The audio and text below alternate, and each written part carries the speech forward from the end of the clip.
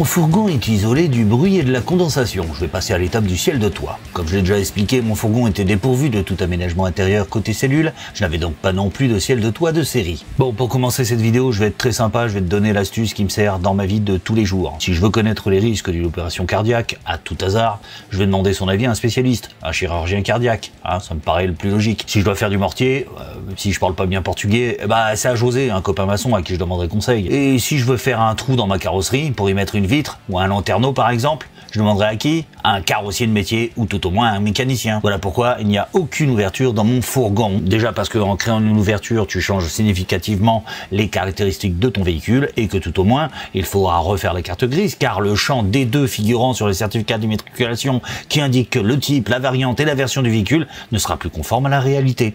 Ou alors tu devras envisager de passer le fameux VSAP et toute la ribambelle d'obligations à la con. Et moi, j'ai pas envie de m'emmerder. Si je veux revendre mon fourgon, je n'aurai qu'à retirer tout l'équipement créé, car j'ai prévu un système pour sortir l'aménagement en quelques minutes. Et basta En ce qui concerne l'assurance et les risques d'accident, dans le pire des cas, pour ce qui est de l'intérieur de la cellule, j'aurai tout dans le cul. Pour les dommages que je créerai sur autrui, et c'est bien, mon assurance normale couvrira les frais à la hauteur de mes engagements et de mes erreurs.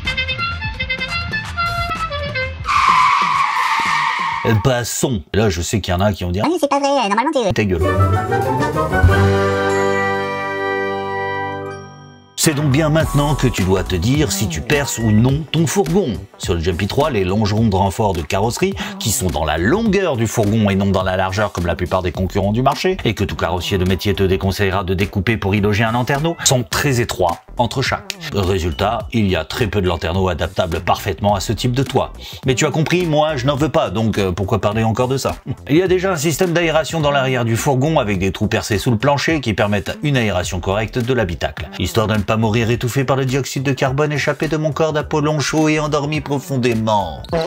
La pose du contreplaqué. Alors j'avais le choix de faire un plafond complet, même euh, s'il aurait été difficile, voire impossible de trouver une plaque assez grande pour ne faire qu'un seul ensemble de toit, ou alors de faire mon toit en deux parties distinctes, dissociées. D'ailleurs, euh, y a une différence de hauteur entre l'avant et l'arrière de la cellule. Ça aurait peut-être euh, créé un porte-à-faux à ce niveau-là. Sinon, j'aurais pu effectivement jointer les deux plaques au milieu, ça aurait fait tout dégueulasse comme il y en a plein qui le font sur internet et j'avais pas envie de faire de la merde. Bon, chacun son truc. Le gros souci du Jumpy 3, c'est la hauteur de la cellule qui doit être aux alentours des 1m35, 1m40, je sais plus trop. Et que si je dois mettre euh, en plus des plafonniers pour la lumière, je vais être limité en hauteur hein, pour ne pas perdre d'espace. Donc décider d'intégrer la lumière principale du plafonnier à mon plafond et donc de séparer en deux parties le ciel de toit pour loger entre les deux plaques les luminaires.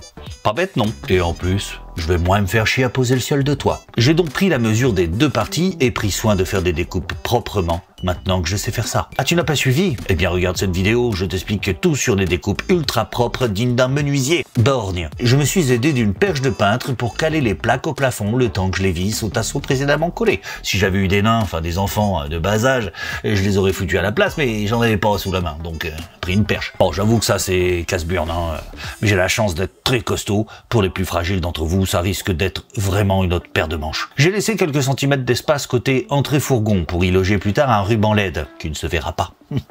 Qu'est-ce que je suis malin. Je me suis aidé de cette espèce d'équerre là qui sert de niche au crochet de la porte latérale juste au-dessus où j'ai pu poser la plaque juste euh, au-dessus, oui, aussi. La plaque que j'ai achetée chez Bricoman Own parce qu'ils sont très gentils chez Bricoman Own, c'est du contreplaqué, le plus fin que j'ai trouvé. C'est souple et à la fois solide. C'est du 5 mm. J'ai pris soin de repérer au scotch l'emplacement des tasseaux sous la plaque qui va se positionner au-dessus, histoire de savoir où je vais pouvoir visser mes vis et pas visser à côté.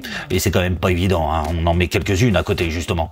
J'admets que c'est une étape chiantibus, mais quel plaisir de voir que le plafond tient enfin en place sans ses mains. C'est bon, chérie. Admirez les petites collerettes que j'ai achetées pour embellir la vis. Ça ressemble à une rondelle, mais creusée, où la tête de vis vient se lever. Cela fait une finition bien plus sympa. J'ai ensuite pris une peinture isolante de chez Rust-Oleum. Vous pouvez d'ailleurs voir une vidéo comparative des différents produits de la marque, de ce superbe génie de la peinture, le petit gros à barbe rousse, justement nommé Docteur Peinture. Parce qu'à force de tergiversation, j'ai fini par arrêter mon choix dans l'aspect final de mon de toit. Je ne voulais pas de moquette d'habillage, comme j'ai pu faire sur la cloison de séparation de la cellule. Je ne voulais pas non plus de la peinture. Nous sommes tellement bas dans ce fourgon que le pommelé du rouleau aurait été assez moche à lorgner d'aussi près. J'ai donc choisi le papier peint. Pour le choix, je suis resté dans quelque chose de nature, en rappel avec le sol vinyle, imitation bois. Et bon, je dois faire aussi les côtés, mais je ne pense pas remettre ce genre de motif.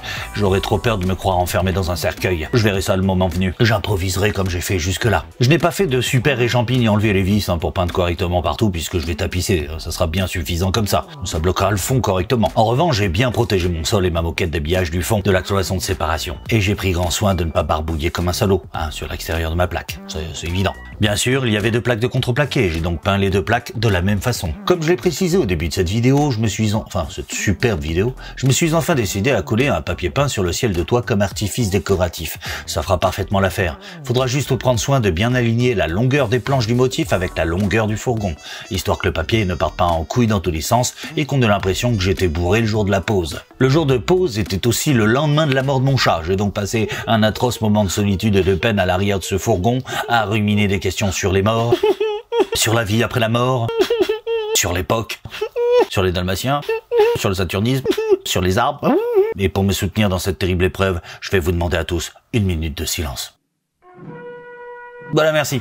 Alors, ce qui est vrai en tapisserie à la maison l'est encore plus ici. Lorsque je serai assis ou couché, je ne serai pas loin de, voir euh, tous les défauts de pose. Je n'ai donc pas intérêt à coller ça n'importe comment, ni même à ne laisser la colle souiller les jointoiements délicats du papier. Je nettoie donc bien entre les laits. J'ai déjà précisé pourquoi ce papier et pas autre chose. D'ailleurs, je l'ai acheté sur Amazon afin de vous proposer le lien affilié du produit. On ne sait jamais, hein. Même si tu n'as pas de vanne ou de fourgon et que tu ne l'aménages pas, euh, peut-être voudras-tu refaire la tête de lit de ta chambre. Dans le prochain épisode, je vous propose de vous présenter tous les meubles de mon aménagement. Oh, quelle belle idée cette série sur l'aménagement d'un van.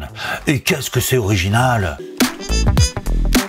euh, euh, ouais, pas tant que ça en fait. Au revoir.